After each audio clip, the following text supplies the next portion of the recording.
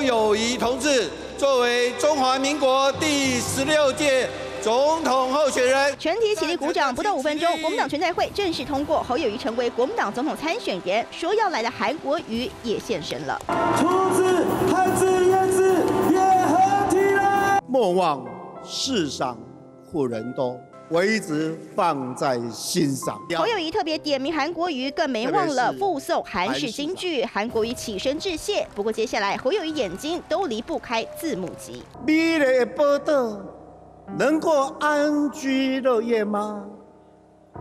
会不会出现白华人送黑华人的悲剧？大好机会的造势场，侯友谊不仅频频瞄前方两侧字幕机，明明是主角，但致辞时间却跟党主席朱立伦差不多。非绿能够大同盟，建立一个和平、安定、公平、正义的。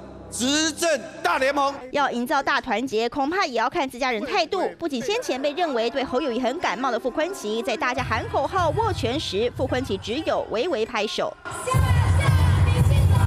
他的太太花莲县长徐祯卫更直接缺席。另外，屏东议长周典论、新竹议长许修睿，还有前立法院长王金平、前主席吴敦义跟郝龙斌等也都没到现场当代表座位，四处空荡荡。国民党一定会团结在一起。过去有很多的流言蜚语，那些都不重要，最重要是要我们怎么样跨出大步，啊，能够接纳各方，我们更欢迎柯市长。